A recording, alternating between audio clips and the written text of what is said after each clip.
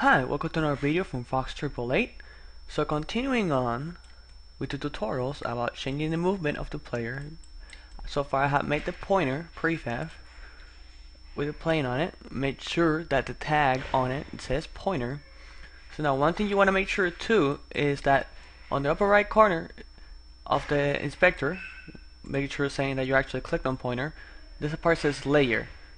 What we're trying to do is make sure that ignore raycast meaning as when our raycast hits something it's actually going to hit this object and it's going to fly towards us because it keeps hitting the object and then the object's going to try to move towards where the point the point or the end of the raycast is. So it's pretty much going to fly at us.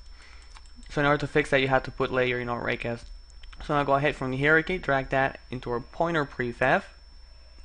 Now you can go ahead and delete this object and now we can start our script uh, I'm gonna put it right here on the camera scripts. Right click make a new C sharp script. I'm gonna call it pointer script.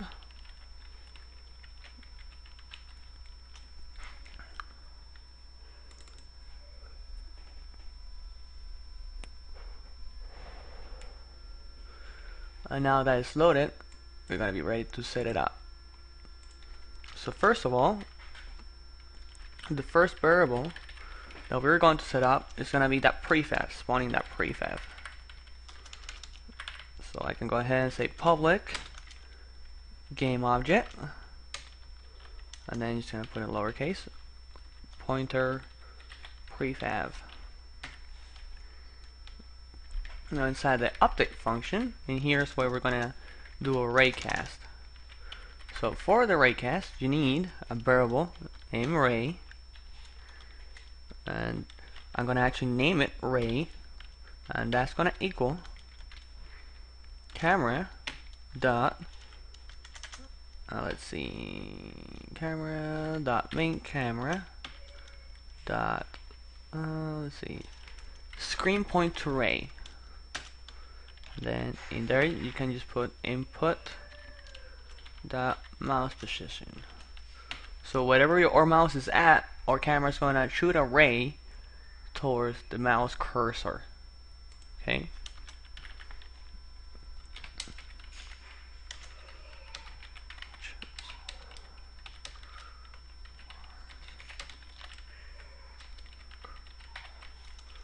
So that's going to be the first one.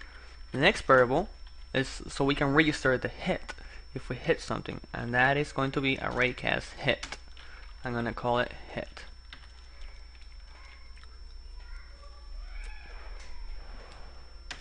Now continuing on, I'm gonna do the if statement. So if physics dot raycast, so the first one's gonna be the ray, which is the ray that we made. Next one is going to be or hit variable. Actually, you actually have to type out hit. I don't know why, but if you don't type the out word in front of it, it's not going to take it. And then the next is going to be the distance. We're to actually set up a distance. We're just going to be infinitely shooting the raycast out. If we set up a distance, let's say 10, even if we don't use the plane, it's not going to spawn the object because it has to hit something. That's the trick of it. So in order to make it infinite, just do this keyword, which is math f dot infinity. And close that off, close it up again, and set up my stuff right here like that. Okay, now we're going to make another private variable, which is gonna be the pointer prefab as a clone. So private game object pointer, name it pointer clone.